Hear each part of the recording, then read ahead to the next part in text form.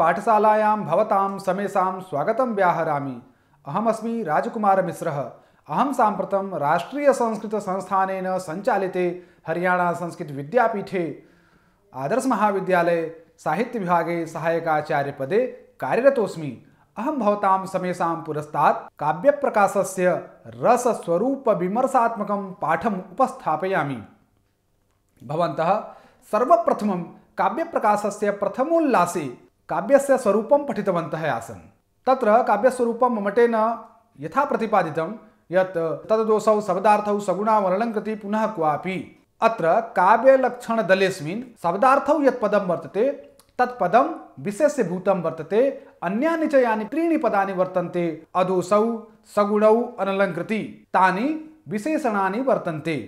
शब्दार्थयोः ममटेन शब्दस्य चर्चा, अर्थस्य चर्चा एतावता कृता वर्तते। इदानीं क्रमप्राप्तम् अदोषौ इति पदं वर्तते। तदनन्तरं सगुणौ इति पदं वर्तते। अनलङ्कृति इति पदं वर्तते। किन्तु मम्मटः एतत् सर्वं साम्प्रतं न निरूपयति। साम्प्रतं मम्मटः काव्यस्य भेदान् वितनोति। यतोहि काव्यं यद् वर्तते, तत्तु धर्मिरूपं वर्तते। यावत्पर्यन्तं भवन्तः धर्मिणः काव्यस्य स्वरूपं तद्भेदांश्च न जानन्ति तावत्पर्यन्तं धर्माणां ज्ञानं भवितुं नार्हति। अतः साम्प्रतं मम्मटः प्रवर्तमानेऽस्मिन् पाठे काव्यभेदान् निरूपयति। इतः पूर्वं काव्यप्रकाशस्य प्रथमे उल्लासे पठितवन्तः आसन् काव्यस्य भेदान्।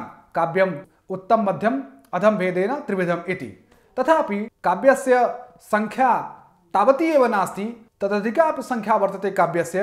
अतः ममटः साम्प्रतं क्रमप्राप्तं काव्यभेदं निरूपयति। प्रवर्तमानेन अनेन पाठेन। भवन्तः सावधानमनसा अमुं प्रसङ्गं जानन्तु। अविवक्षितवाच्यध्वनिभेदाः मम्मटः काव्यभेदान् गणयति साम्प्रतं। मम्मटः अस्मिन् चतुर्थे उल्लासे ध्वनिकाव्यस्य भेदान् उपस्थापयति। तदनन्तरं पञ्चमे उल्लासे गुणीभूतस्य भेदान् उपस्थापयति। पुनश्च षष्ठे उल्लासे अधम अधमकाव्यभेदान् निरूपयिष्यति। सर्वप्रथमं ध्वनिकाव्यप्रभेदो यथा। अविवक्षितवाच्यो यस्तत्र वाच्यं भवेद्ध्वनौ अर्थान्तरे संक्रमितम्, अत्यन्तं वा तिरस्कृतं सर्वप्रथमं ध्वनिकाव्यं द्विविधं भवति, लक्षणामूलकम् अभिधामूलकं चेति। तत्राद्यम् अविवक्षितवाच्यम्, अन्त्यं विवक्षितान्यपरवाच्यम् उच्यते। तत्र प्रागुक्तत्वात्, अल्पविषयत्वाच्च प्रथमं लक्षणामूलकं ध्वनिं लक्षयित्वा विभजते। अविवक्षितं नाम अनुपयुक्तम्। अनवया अयोग्यं वा वाच्यं वाच्योऽर्थो यत्र तादृशः यो ध्वनिः तत्र तस्मिन् ध्वनौ उत्तमे काव्ये वाच्यं वाच्योर्थः अर्थान्तरे वाच्यलक्ष्यसाधारणे अर्थे संक्रमितं परिणमितम्, अत्यन्तं तिरस्कृतं त्यक्तं वा भवेत् इति कारिकार्थः। अत्र समासद्वयं भवितुमर्हति अर्थान्तरसङ्क्रमितश्चासौ वाच्यश्च अर्थान्तरसङ्क्रमितवाच्यः तस्य तत्सम्बन्धित्वेन ध्वनिः अत्र कर्मधारय समासः अथवा अर्थान्तरे संक्रमितं वाच्यम् अस्ति यस्य सोऽर्थान्तर संक्रमित वाच्यः स चासो ध्वनिश्च अर्थान्तर संक्रमित वाच्य ध्वनिः बहुब्रीहि समासः अत्र। अयम् अविवक्षित लक्षणामूल ध्वनिः कथ्यते। अर्थात न विवक्षितः वाच्योऽर्थः यत्र स अविवक्षित वाच्यः। लक्षणायामेव वाच्यार्थो विवक्षितो न भवति इति। अर्थान्तर संक्रमित वाच्य ध्वनेः उदाहरणं त्वामस्मि वच्मि विदुषां समवायोत्र तिष्ठति आत्मीयां मतिमास्थाय स्थितिमत्र विदेहि तत् अत्र विद्वत्सभां गच्छन्तं प्रति कस्यचित् आप्तस्य उक्तिरियम्। अस्मि इत्यस्मत् अर्थे अव्ययं पद्यस्मिन् यतः इति पदम् अद्याहार्यं वर्तते। यतोत्र विदुषाम् असाधारणज्ञानवतां समवायः एकवाक्यतापन्नः समवायः तिष्ठति। तस्मात् आत्मीयां स्वकीयां मतिम् आस्थाय अवलम्ब्य अत्र सावधानस्थितिं विदेहि कुरु इति त्वाम् उपदेशार्हम् अहम् आप्तः वच्मि उपदिशामि इत्यर्थः। अत्र हि वच्मि पदम् उपदेशरूपार्थे परिणमते, स्वार्थं परित्यज्य। अतोत्र वच्मि उपदिशामि इति लक्ष्यं तेन च हितसाधनं व्यङ्ग्यम्। एतस्य अर्थान्तरसङ्क्रमितवाच्यध्वनेः अन्यदपि उदाहरणं प्रदर्श्यते। येन भवतां विषयस्मिन् दृढः संस्कारः स्यात्। साम्प्रतं विश्वनाथस्य अर्थान्तरसङ्क्रमितवाच्यध्वनेः उदाहरणं यथा। कदली कदली, करभः करभः करिराजकरः करिराजकरः भुवनत्रितये बिभर्ति तुलामिदमूरुयुगं न च मूरुदृशः। अत्र द्वितीय कदल्यादिशब्दाः पुनरुक्तिदोषं जनयन्ति। येन पद्यस्य अस्य अस्तित्वमेव समाप्यते। अतः कदल्यादिशब्दाः सामान्य कदल्यादि रूपे मुख्यार्थे बाधिताः जाड्यादिगुणविशिष्ट कदल्यादि रूपम अर्थम बोधयन्ति। जाड्यादि अतिशयः व्यङ्ग्यम्। अर्थांतर संक्रमित वाच्य ध्वनि नास्ति प्रबंध काव्यम प्रत्युत प्रबंध काव्ये यत्र तत्र उपनिबद्धा ताः सूक्तयः, यासां गभीरं पदमेव विदग्ध पाठकान् चमत्करोति। एतासां सूक्तीनां चमत्कारः रसावेशस्य चमत्कारो न भवति। प्रत्युत गुम्फन वैचित्र्यात् अंतर्निगूढ़ विवक्षितार्थ प्रतीते तादृश चमत्कार। अत्यंत तिरस्कृत वाच्य ध्वने उदाहरण इदानीं मम्मटः लक्षणामूलकस्य अर्थात् अविवक्षित वाच्यस्य द्वितीयम् अत्यंत तिरस्कृत वाच्यम् इत्याख्यं भेदं निरूपयति। यथा उपकृतं बहुतत्र किमुच्यते सुजनता प्रथिता भवता परम् विदधीदृशमेव सदा सखे सुखितमा स्वततः सरदां सतम्। अत्र बहुभिः अपकारैः तप्यमानस्य कस्यचित् उक्तिरियं। त्वया यद् बहु उपकृतं, तत्र विषये किमुच्यते, किं वाच्यं बहुत्वात् वक्तुं न शक्यते इत्यर्थः। भवता परं केवलं सुजनता प्रकटिता, तथा च सौजन्य प्रयुक्त एव। एतावानुपकारो न तु प्रत्युपकार लोभ प्रयुक्त इति भाव। हे सखे, ततः यस्मा सुजनता प्रथिता, तस्मात् ईदृशमेव सदा विदधत् कुर्वन् सरदां वर्षाणां सतं व्याप्य सुखितं सुखयुक्तं यथा स्यात् तथा आस्व तिष्ठ मुख्योर्थः स च प्रकरणादिना बुद्धापकारी भावं प्रति बाधितः सन् विपरीतं लक्ष्यति। यथा उपकृतम् अपिकृतं सुजनता, दुर्जनता, सखे सत्रो सुखितम, दुखितम इति।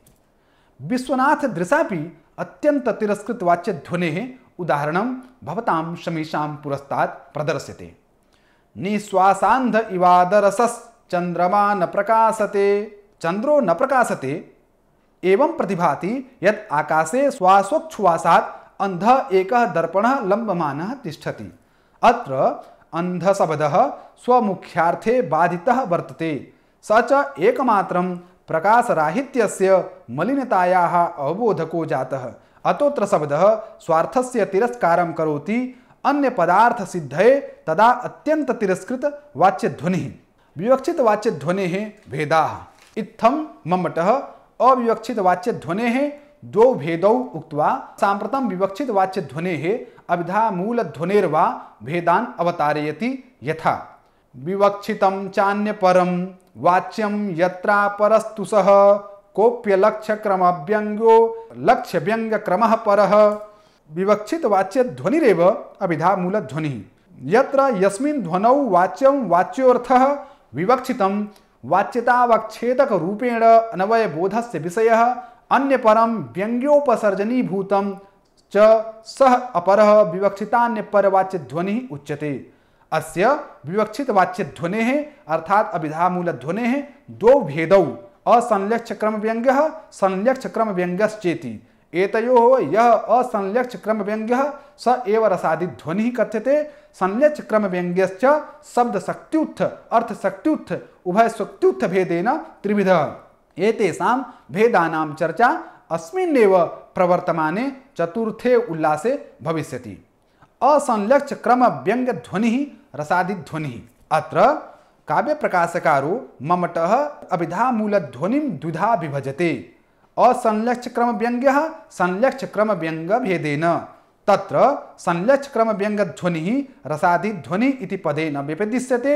अर्थात यस्मिन् रसादि रूप व्यंग्यस्य क्रमः असंलक्षितो भवति, स असंलक्ष क्रम व्यंग ध्वनि भवति, काव्ये रस प्रतीति अवसरे वा वाच्य व्यंगयोः प्रतीतेः क्रमः निश्चितो भवति परंतु शीघ्रता कारणात् वाच्य व्यंगयोः प्रतीतेः सह क्रमः न लक्ष्यते। विभावानुभावानां प्रतीतिरेव न रसः।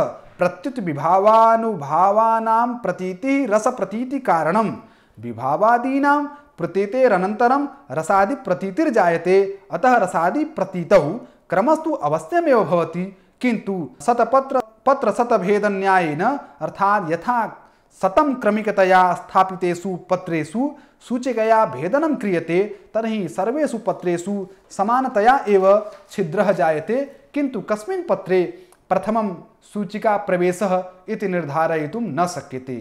यथा, तथैव वाच्यव्यङ्गयोः प्रतीतौ क्रमसत्वादपि क्रमशः निर्धारयितुं क्रमः न शक्यते।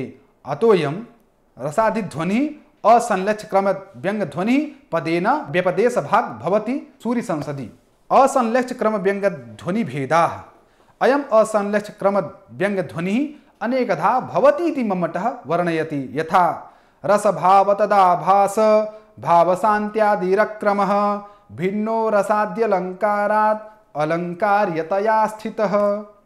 अर्थात काव्ये यत्र ध्वनि अलंकार्यतया प्रधानतया स्थितो भवति, तत्र रसः, शृङ्गारादयः। भावाः देवादि विषयक रतिप्रधानाः रसाभासाः, भावाभासाः, भावशान्तिः तथा च आदिपदेन भावोदयः, भावशान्तिः, भावसन्धिः भावसबलता च भवन्ति। पुनश्च यत्र वाच्यार्थापेक्षया ध्वने गौणता तिष्ठति, तदा रसवत् प्रेय ऊर्जस्विन् समाहिता अलङ्काराः भवन्ति। अमुमेव सन्दर्भं मम्मटः प्रपञ्चयति। आदिग्रहणात् भावोदय, भावसन्धि भावसबलत्वानि प्रधानतया यत्र स्थितो रसादिस्तत्रालङ्कार्यः यथोदाहरिष्यते। अन्यत्र तु प्रधाने वाक्यार्थे यत्रांगभूतो रसादि, तत्र गुणीभूत व्यंगे रसवत् प्रेय ऊर्जस्वी समाहितादयो अलंकाराः ते च गुणीभूत व्यंग्याभिधाने उदाहरिष्यन्ते। भावार्थोऽयम् अस्याः मम्मटवृत्तेः यत् यत्र रसादिः प्रधानतया वाच्यापेक्षया काव्ये समुपतिष्ठते, तत्र रसादिः किंतु यत्र अयमेव रसादिः स्वयं गुणीभूय तिष्ठति तदपेक्षया च वाच्यार्थ एव प्रधानतया संतिष्ठते, तर्हि अस्यां दशायां रसादिः अङ्गभूतो जायते, वाच्यार्थस्य। अतोऽयं रसादि अलङ्कारत्वरूपेण परिणमते। रसस्वरूपम्, इदानीं भवतां समेषां पुरस्तात् उपस्थाप्यते। इत्थं ममटाचार्यः वाच्यार्थापेक्षया व्यङ्ग्यस्य प्रधानता दशायां रसादिः भवति अप्रधानता दशायां च अलङ्काराः इति निरूप्य इदानीम् असंलक्ष्यक्रम व्यङ्गध्वनेः भेदान् क्रमशः निरूपयति। तेषु भेदेषु प्रथमः रसो वर्तते, अतः मम्मटः रसस्वरूपं निरूपयति। यथा, कारणान्यथ कार्याणि सहकारीणि यानि च, रत्यादिः स्थायिनो लोके, तानि चेन्नाट्यकाव्ययोः विभावा, अनुभावास्तत् कथ्यन्ते व्यभिचारिणः। व्यक्त सतैर्विभावाद्य स्थायी भावो रस स्मृत।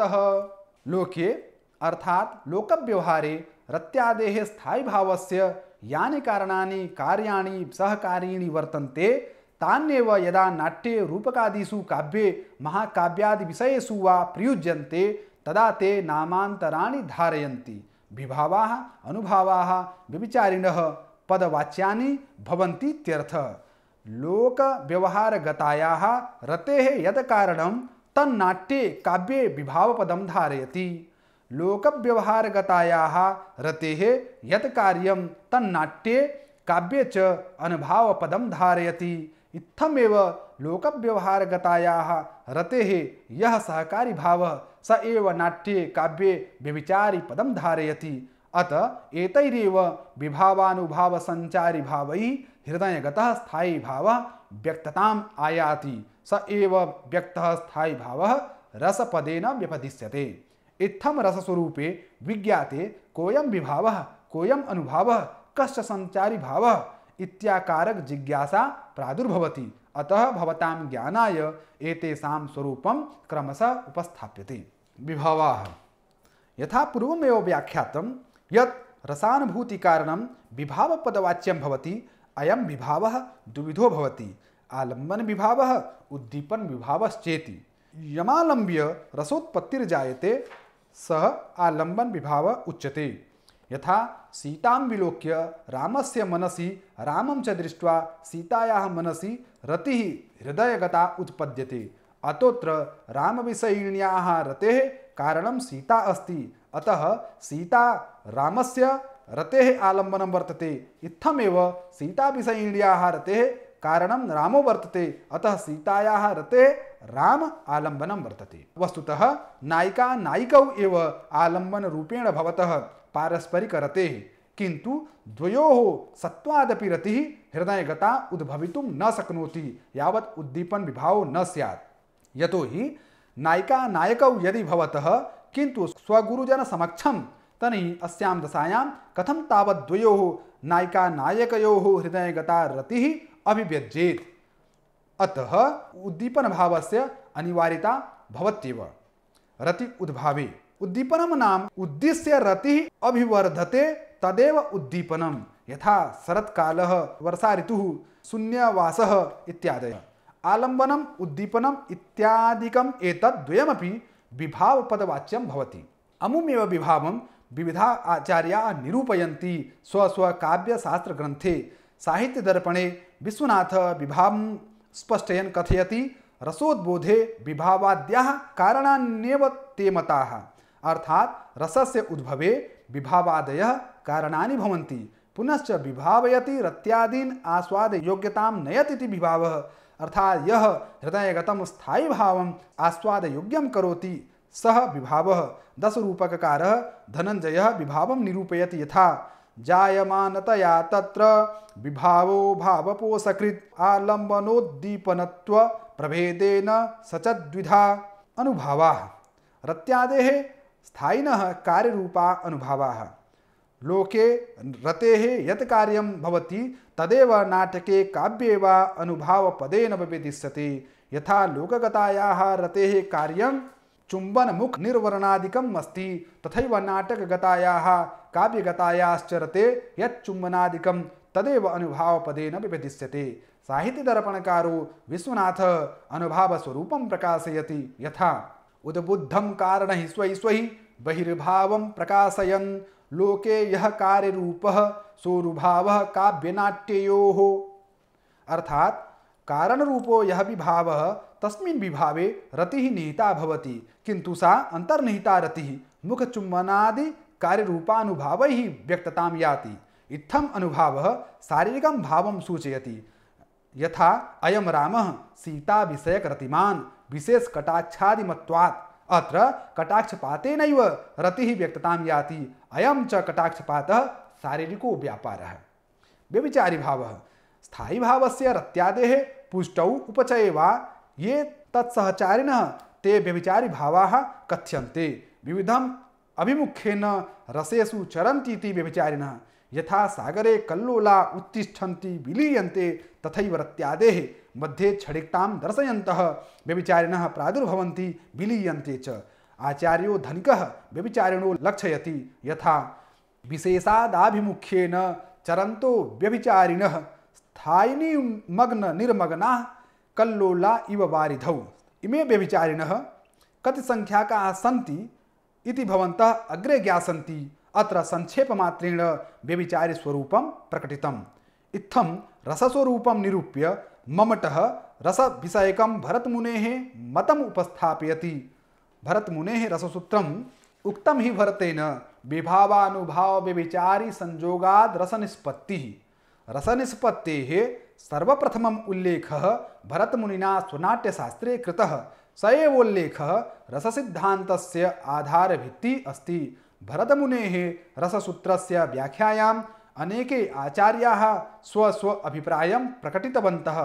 तत् परिणामतः उत्पत्तिवादः, अनुमितिवादः, भुक्तिवादः, अभिव्यक्तिवादश्च विचारसरणिं प्राप्ताः। विभावानुभाव व्यभिचारी संयोगात् रसनिष्पत्तिर्जायते। अस्मिन् भरतसूत्रे यः निष्पत्तिः शब्दः प्रयुक्तः, तस्य चत्वारो अर्थाः भवन्ति। भट्टलोल्लटस्य मते निष्पत्तिशब्दस्य अर्थः उत्पत्तिः। शङ्कुकमते अनुमितिः भट्टनायकमते मते अभिनवगुप्तमते, अभिव्यक्तिः स्वीकृतो वर्तते। एतेषां भट्टलोल्लट, शङ्कुक भट्टनायक अभिनवगुप्तानां व्याख्यायाः सारांशः मम्मटेनापि स्वग्रन्थे अस्मिन् काव्यप्रकाशे समुपस्थापितो वर्तते। भट्टलोल्लटस्य उत्पत्तिवादः। आचार्यो ममटः सर्वप्रथमं भट्टलोल्लटस्य उत्पत्तिवादं प्रदर्शयति।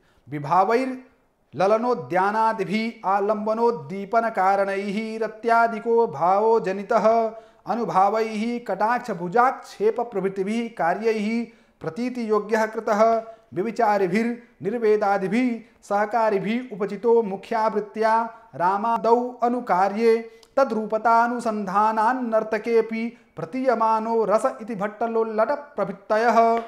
इदानीं भट्टलोल्लटस्य मतस्य आशयः प्रकाश्यते सरलरीत्या भवतां पुरस्तात्। रत्यादिको भावः ललना उद्यानादिभिः क्रमशः आलम्बनोद्दीपनकारणैः विभावैः जनितः। स च जनितः रत्यादिको भावः कटाक्ष भुजाक्षेप प्रभृतिभिः कार्यैः अनुभावैः प्रतीतियोग्यः कृतः। पुनश्च स एव जनितः रत्यादिको भावः निर्वेदादिभिः व्यभिचारिभिः पुष्टीकृतः। इत्थं स जनितो रत्यादिको भावः मुख्या वृत्त्या मुख्यरूपेण अभिधया वृत्तिया वा अनुकार्ये रामादौ तदभिनय कर्म करणात् नर्तकेपि प्रतीयमानो रसः। विभावः सीतादिः मुख्यरूपेण रसम् उद्भावयति, अनुभावः तमुत्पन्नं रसं बोधयति परिचायति वा व्यभिचारी भावश्च तम उत्पन्नं रसं परिपोषयति। अतः स्थायी भावस्य रत्यादिकस्य विभावेन सह संबंध उत्पाद्योत्पादक रूपः अनुभावेन सह रत्यादिकस्य स्थायी भावस्य सम्बन्धः गम्य गमक रूपः व्यभिचारिणा सह रत्यादिकस्य सह सम्बन्धः पोष्य पोषक रूपः अतो भरतमुनेः रसूत्रे यो हि संयोगः शब्दः प्रयुक्तो वर्तते, तस्य त्रयोऽर्थाः जायन्ते। विभावैः सह संयोगः उत्पाद्योत्पादक भावसम्बन्धः अनुभावैः सह गम्यगमक भावसम्बन्धः विविचारिभिः सह पोष्य पोषक भावसम्बन्धः यथात्र संयोग शब्दस्य त्रयोऽर्थाः तथैव निष्पत्ति शब्दस्यापि त्रयोऽर्थाः जायन्ते। विभावैः सह स्थायी भावस्य संयोगे उत्पाद्योत्पादक रूप संबंधे रसस्य निष्पत्ति अर्थात उत्पत्ति भवति। अत्र निष्पत्ति शब्दस्य अर्थ उत्पत्ति भवति। अनुभावैः सह संयोगे गम्य गमक भाव संबंधे रस निष्पत्ति अर्थात प्रतीति भवति। अतोत्र निष्पत्ति शब्दस्य अर्थ प्रतीति भवति। व्यभिचारी भावैः सह संयोगे पोष्य पोषक भाव संबंधे। रस से निष्पत्ति अर्थात पुष्टि भवति। अतोत्र निष्पत्ति शब्दस्य अर्थ पुष्टि भवति। रस रसविषयिणी इं व्याख्या मीमांसा सिद्धान्तानुसारिणी वर्तते। भट्टलोल्लटस्य मते काचित् न्यूनता अपि वर्तते। सा न्यूनता भवतां पुरस्तात् उपस्थाप्यते। भट्टलोल्लटस्य उत्पत्तिवादेऽस्मिन् न्यूनताद्वयं तिष्ठति। तत्र प्रथमा न्यूनता इयं यत् रसः मुख्यरूपेण अनुकार्ये रामादौ तिष्ठति, गौणरूपेण च नर्तके। किन्तु सामाजिकानां हृदये रसानुभूतिः कथं जायते इत्यस्य संकेतोपि न प्राप्यते अत्र। अतोत्र दोषः।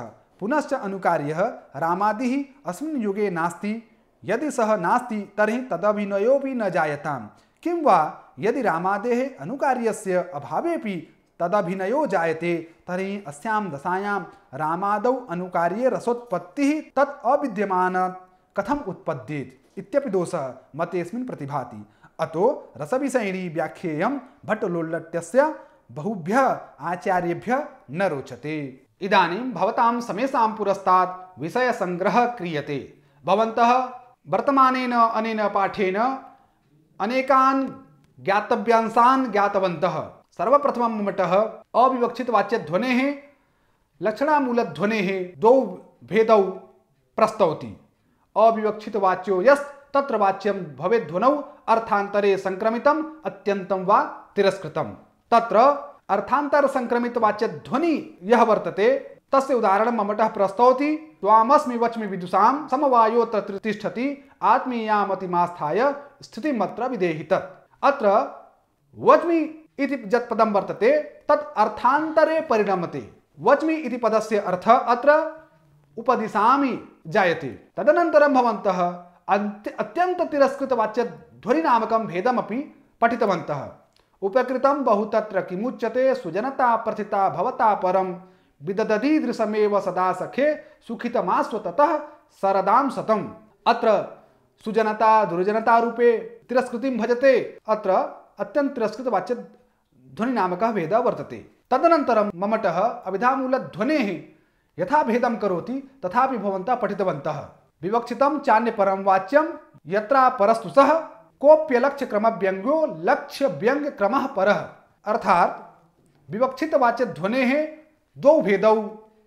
असंलक्ष्य क्रम व्यंग ध्वनि संलक्ष्य क्रम व्यंग ध्वनि तत्र ध्वनि यह वर्तते सह रसादि ध्वनि वर्तते। रसादि ध्वनि ये भेदा वर्तन्ते, तान भेदान भी भवन्तः ममटानुसारं पठितवन्तः।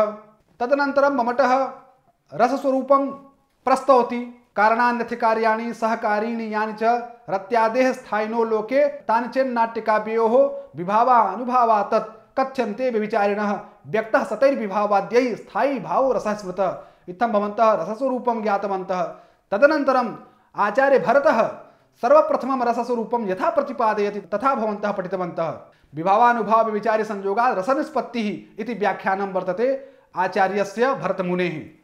तदनन्तरं भरतमुनेः एतस्मिन् रससूत्रे यावन्तः व्याख्याकर्तारः स्वकीयां स्वकीयां व्याख्यां कृतवन्तः। तेषु यः प्रथमः वादः वर्तते रससम्मतः भट्टलोल्लटस्य उत्पत्तिवादः, तम उत्पत्तिवादसिद्धान्तमपि भवन्तः ज्ञातवन्तः। तत्र या न्यूनता वर्तते, तां न्यूनतामपि भवन्तः प्रस्तुतेऽस्मिन् पाठे पठितवन्तः, ज्ञातवन्तश्च। इत्थं वर्णनेन प्रस्तुतपाठोऽयं समाप्तिमेति, धन्यवादः।